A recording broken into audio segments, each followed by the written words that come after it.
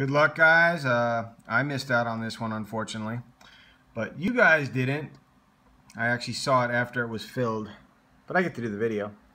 1 through 10. Good luck. Let's get started. Awesome deal from Ian here. Alright, we are in start mode.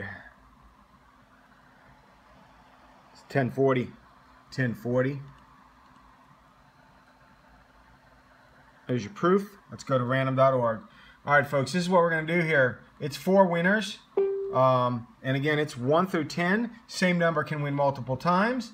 So let's just run it out. We've got to uh, show the certificate here. There it is. We'll do a refresh. All right, I'm going to do this four times in a row. Good luck. I'll pause in between and write it up in the list so we can keep track. Because God knows I can't remember stuff. 1 through 10, good luck. First winner goes to number 9. Number 9 is your first. All right, so we got 9 up there.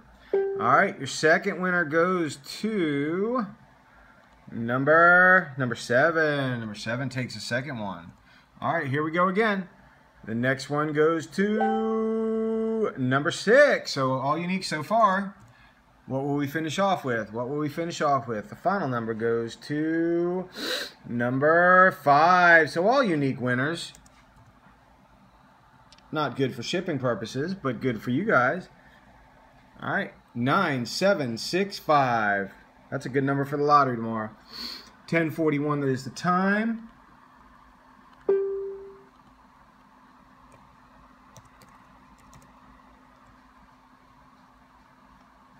Your final stamp here. 1041. 1041.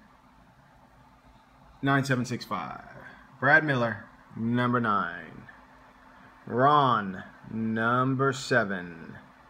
Brad Miller. Oh, so we do have a double up there. 6. And then 5. Ron.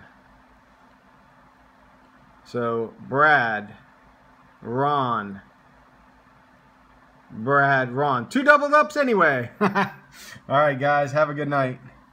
Sorry for the other guys.